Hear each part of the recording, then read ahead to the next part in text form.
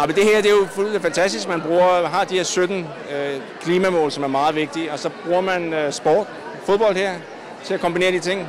Glæden ved at spille fodbold, og så de her meget alvorlige emner selvfølgelig.